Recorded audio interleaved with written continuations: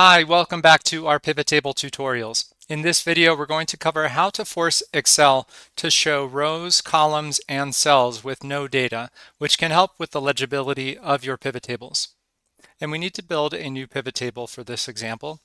So we'll go to our source data, insert a pivot table into a new worksheet. And for the rows, we're going to choose child age, for columns, we're going to choose the region. For filters, we're going to choose race and ethnicity. And for the values, we're going to choose child ID. And of course, we want a count of child ID in this case. So we'll right click and go to summarize values by count. And we'll zoom in a little bit. And we will rename our sheet to something like child age by region. Now, let's say I wanted to drill down into the group of children who identify as American Indian or Alaska Native. So when I use my filter to do that, notice what happened. Our column for region D has disappeared, and our row for children younger than one has also disappeared.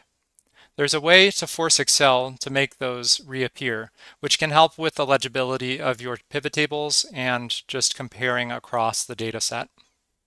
Click on any of the column labels, such as Region A, and right-click and go to Field Settings.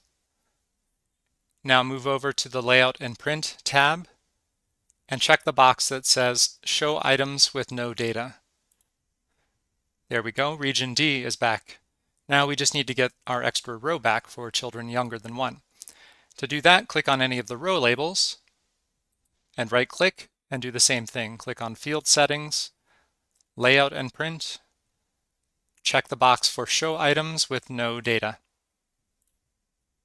There, that's looking better. Now we have all our rows and labels regardless of whether any data were present. So we have all our rows and columns, but now we have a bunch of blank cells. And let's say I wanted to actually show the number zero in all of those, which can also help with pattern checking. Just right click anywhere within the table itself and click Pivot Table Options. And then under Format, under the Layout and Format tab, which is typically the first tab to appear, Right now it's just showing blanks, but for empty cells, let's show a zero there and make sure that box is checked on the left and click OK. There we go. Now we've got a full and complete table with all our regions and rows and even cells with missing or blank or zero data.